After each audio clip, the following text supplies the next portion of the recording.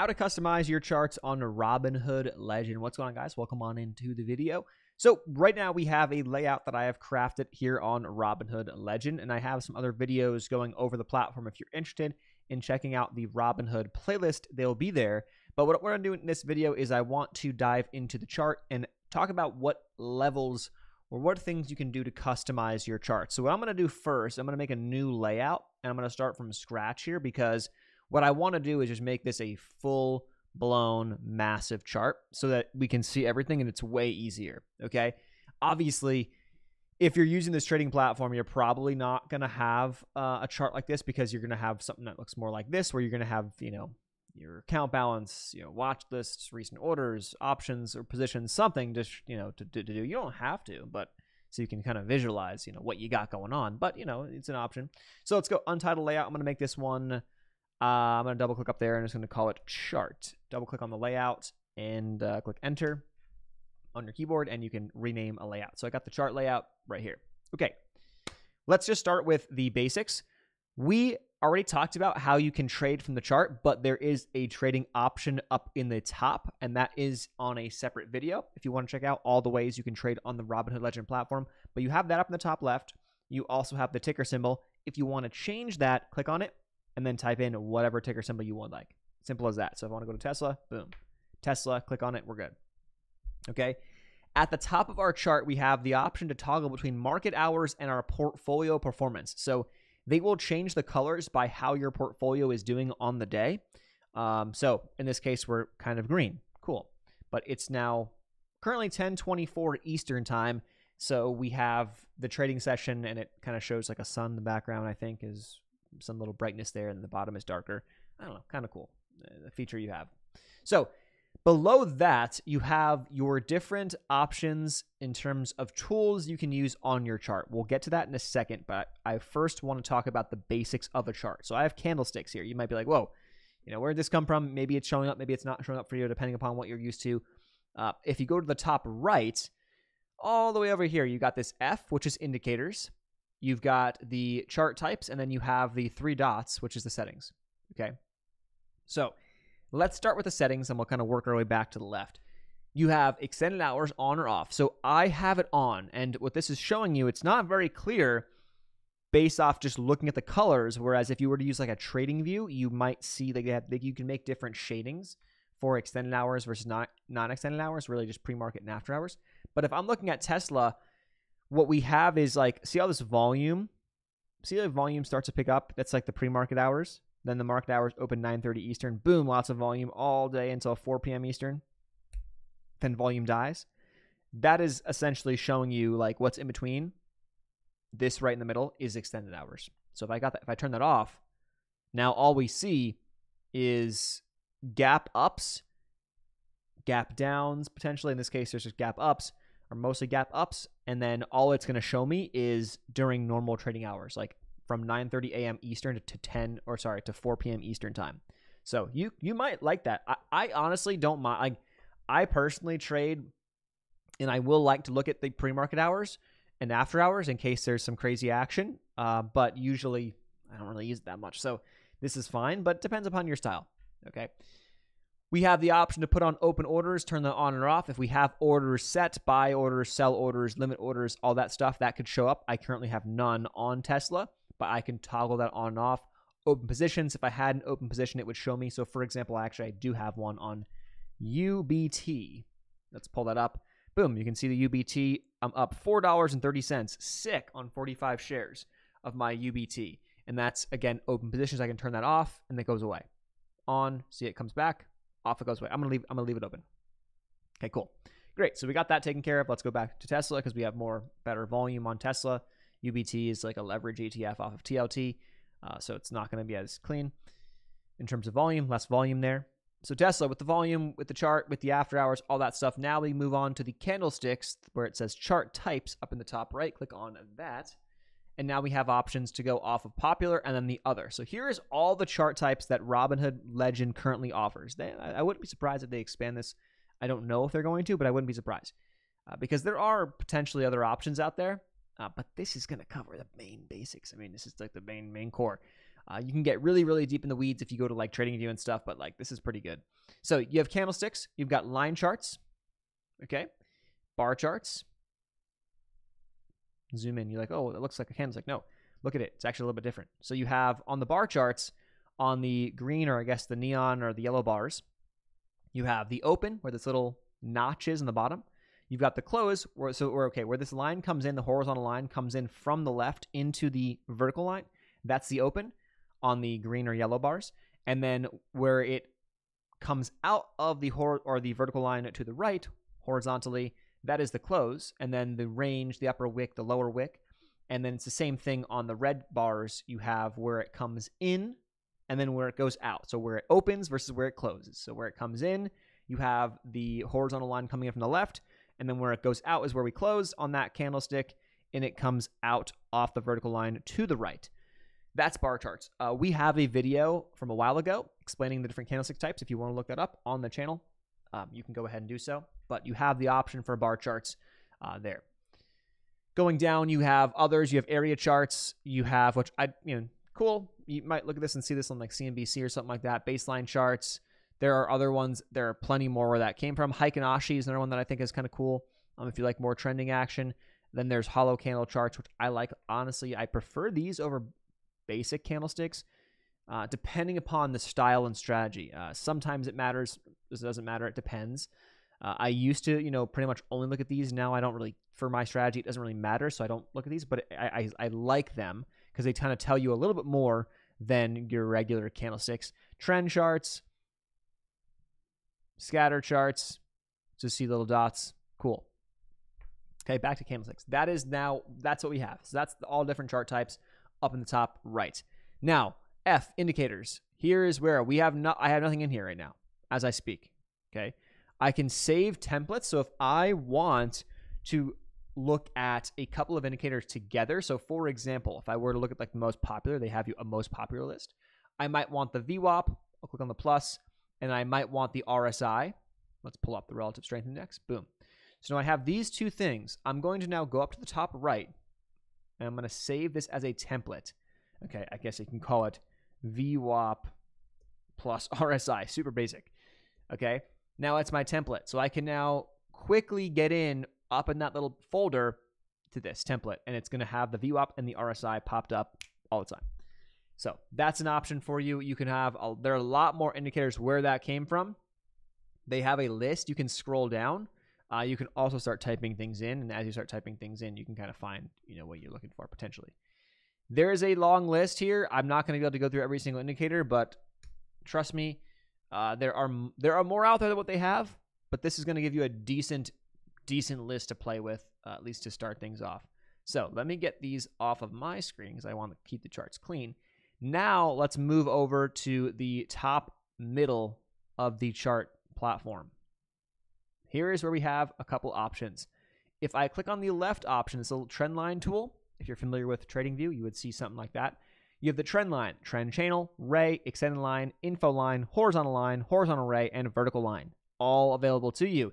If you're not familiar with some of them, I encourage you to try them out. But for example, let's go to SPY and let's see if we can do some uh, do some stuff here. So let's go to the daily time frame. And yeah, here's where we can kind of get into some fun. So trend line, boom, mark it off, three touches, boom, it's a valid trend line to me. Got the trend line there. We can draw in a trend channel if you really want to, and then extend that out. Kind of cool. Uh, it's an option. I just got to go back or hit delete on my uh, when I select the boom. Select your trend line or your whatever I guess tool you're using. See how it has now? It's now selected. There are options up at the top, which we'll cover in a second. There's a trash can, or if I just click delete on my keyboard, it'll get rid of it. So let me go back, put that trend line back up there so you can kind of see.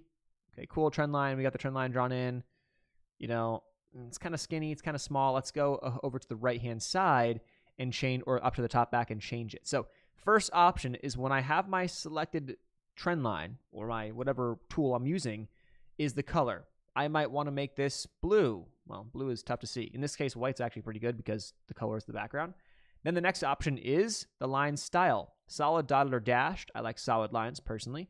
And the thickness, one point to five point. I love thicker lines because personally, uh, not personally, just what I found, I think many people will find is that, you know, does a super skinny line always have to be perfectly respected? No, there's usually a little bit of room for uh, for error, right? How you draw things, and the market doesn't care about your trend lines. The market doesn't give a crap about your trend lines. So I like to have the thicker lines, and then that's kind of a more of a generalized area that I'm looking for. Of course, you can use a channel as well, but there's that. Start point, uh, you can have it none. You can make a circle. You can make it an arrow. If you want to have a direction to that line, I'd like to leave it at none. Personally, that's fine with me. And there's also the endpoint option as well. Same thing. Settings. You can go in, which is kind of cool. Uh, this is not something that I expected to see on Robinhood, but you could. So you have the ability to change the time and the price and the date of all these things. So I can like instead of drawing it out, you could literally come in here and just edit the trend line based off of times and prices that you already have or let's say you've marked off or you've written down somewhere. I don't know why you would do that for, but maybe you would. I don't know. There, I, I, there's no right or wrong answer here. So whatever. So let's say if I adjust this, right? So if I was this is the this is the first line I assume. So five nine. Let's say I go to five ninety or the second line. Boom. 590 off the first line. And now it changes. See how it just moved that up? If I move this down, watch. Let me move this down. Let me go back to that settings. See how it says 586.56? If I move this to 550, 586.99, see how it kind of bumps it up a little bit? So you can move your trend lines by typing in the number. So all they're doing is like these are just two coordinates that you're you're you're creating on the chart. So you're creating a price, a date, and a time. And then you can adjust those things. So if I want to take this to let's just say instead of 20, I go to 10. Now it brings it a further to the left earlier in the day. So kind of cool. Uh, didn't think that that would be an option there, but that's actually a really cool setting that you can change. Okay, cool. Showing the y-axis and x-axis, what that means is see at the bottom of your screen, see how this little gray area is highlighted? That's showing you on the x-axis, the highlighted area of the trend line. And the y-axis, it's also highlighted here, but then it has the number uh, 586.90 and 583.37, the top and the bottom, uh, or the, the, the, the point on the y-axis of that dot on the trend lines. Kind of cool. I, I, I, I think it is. You can lock this or unlock it so you can move it or not move it. You can also delete it or click on done. When you're done, boom, you leave it in there and now your trend line is locked and loaded. You're ready to go. Cool. Next box over here is rectangle or oval. So if you like kind of highlighting zones or areas, you have the option to do that. And then the same things apply. So you can change the line style, you can change the thickness, the color, the settings. You can change the coordinates as well. Uh, so you have all those options. Let me get rid of this guy. I'll get rid of this line too. Uh, inside of here, you have Fibonacci retracements, date, time, price. This is something you can draw price range zones and stuff like that. This is something that I don't use too much, but some people do use it, and uh, it's there for you. It's a more of a, I guess, somewhat of a common uh, indicator. Fibonacci's are definitely mu much more common uh, compared to maybe other things. So they have the basics here. Uh, you got the call out price label. So if I wanted to, for example, create a path, you know, I can do this with the path, which is kind of cool. Um, maybe it's not useful to you. Maybe it is useful to you. Let me go back to this chart. Go to the bigger time frames here. Um, if I go to call out, I can type this in or have a little text box and say, like, if I'm trying to teach something or explain something, I can kind of draw this point in and say, hey, this is a relative high you know, whatever I want to do. And let's just call it rel high, you know, and I can draw these things in so I can have, you know, some stuff marked out in my charts so people can see it. Increase the text size if I would like to. Uh, let's keep that, let's increase that even further actually. Boom, rel high, lock it in, delete it, we're done. Boom. Continuous draw, snap to data. This is kind of like if I was to start drawing things, um, if I go to trend line and I would have marked it off, what I could do with when it comes to like snapping to data is have it like literally tied to the top of a of a of a point on the chart. So let's just draw this in. Let's see, like, can we draw like a uh, an uptrend? Let's just see if I can. Uh, I have it set to snap data and continuous draw. Let's go to trend line. Let's go see how it like now when I start try, to try to draw the trend line in, it's gonna like be a mat. It's gonna magnet like pull my cursor right down to the top of that candle. So let's see if I can do that. Boom, snapping to the data, and it, it that's kind of cool. Like to me, that could be useful because when you are trying to be more accurate, it's gonna snap it to the top of that candlestick, which is kind of cool. Continuous draw. So like if I keep going, and I like just it'll let me just keep drawing trend lines. That's what that means. So let me get rid of these. Get rid of all these actually. Boom, boom, boom. Get rid of continuous draw. I don't need that setting, but those are your options. So that right there in a nutshell is how it works. On the bottom right, you're also going to see or how like the basics of the the top works. The bottom right, you're going to see how where these little auto scale sign, where this little auto scale little lock. Click on that, get rid of that, and now you can you can zoom in the charts however you want to. Toggle the X and Y axis zoom with your mouse on the screen. I like the auto scale because it just makes it easier. So as I zoom in, zoom out, it kind of like auto sets the chart to make it look nicer, but you can get rid of that if you want to. So if you want to zoom in or look at things a certain way, you could. Then the bottom left, you have the options for different time frames. So it has a one day, one week, one month, one or three months, year to date, year, five year, all. Zoom out all time, five years, one year. It's just going to view on your chart window that time frame. The interval is what the what the candlesticks are going to show you, or the interval on the chart. So one day means these are daily candlesticks. Each of these candlesticks is one day, four hour, one hour, five minute. Those are the ones that I use. Go to the right of that. See those those two little arrows are. I know it's small. Click on that, and now you can customize ticks, seconds, minutes, hours, weeks, and even create custom intervals as well by the minutes, by the ticks, seconds, days, hours, years, ranges, anything you would like. I just what I did was I I went in and I customized or I clicked the ones I liked and I starred them. So if I wanted to add, for example, the let's go back down here. If I wanted to get rid of the one or I want to add the one week, and I go to the right hand side where the star is, click on that. Now on the bottom, it'll show up the five minute, one hour, four hour, one day, and one week charts without me having to do anything. I don't have to like go in here and, and check on every time. It'll just be there so I can toggle between all of those time frames, which are the, really the ones I look at. I don't look at anything else. Those are the main ones I look at. So whatever you like to look at, customize it, click click the star so you have it and you're good to go. That's the charts. That's Robinhood Legend charts in a nutshell. If you have any questions, leave them in the comment section down below. If you're looking to take journaling your trades to the next level, there is a completely free, like literally free, not selling anything training below this video if you want to take your journaling to the next level. And uh, we teach you how to take control of your own trading data. Thanks so much for watching. I'll see you guys in the next one. Hope this is helpful. Peace.